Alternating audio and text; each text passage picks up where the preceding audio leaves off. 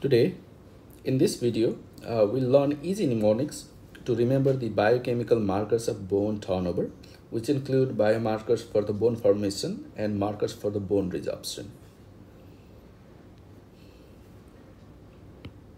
So the mnemonic for the bone formation markers is all bone specific collagen propeptide and osteocalcin make bonds where all bone specific is for bone specific alkaline phosphatase.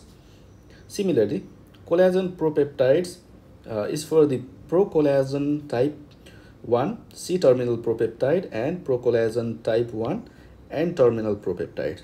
So at this point, what you need to understand is these propeptides, uh, they are released into the circulation when the procollagen uh, breaks down into the collagen and propeptide during the bone formation.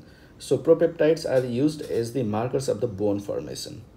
Similarly, the next uh, marker is the osteocalcin, uh, which is also used as a marker for the bone formation.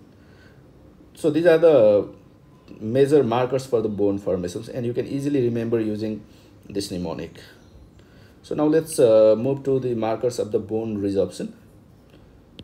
So the mnemonic for the bone resorption markers is telopeptide pyrates, traps and kills bones. So telopeptide is for the C telopeptide and N telopeptide of the collagen crosslinks. So what you need to understand is uh, usually the propeptides they form the bones uh, uh whereas the telopeptides they are the markers of the bone resorption so the next uh, mnemonic is pyrates so using this uh, word pyrates, you can remember the this uh, pyridinium crosslinks and proline. So the pyridinium crosslinks, they include uh, pyridinoline and deoxypyridinoline. So these are also the markers of the bone resorption.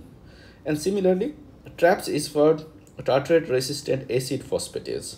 So this is the marker of the bone resorption. So alkaline phosphatase uh, was the marker of the bone formation, whereas acid phosphatase is the marker of the bone resorption.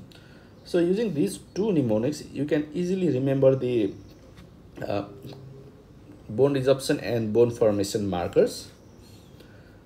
So this chart summarizes the bone formation and the bone resorption markers. So the bone formation markers include bone specific alkaline phosphatase, osteocalcin, similarly the uh, procollagen uh, 1 propeptides including N-terminal propeptide and C-terminal propeptide.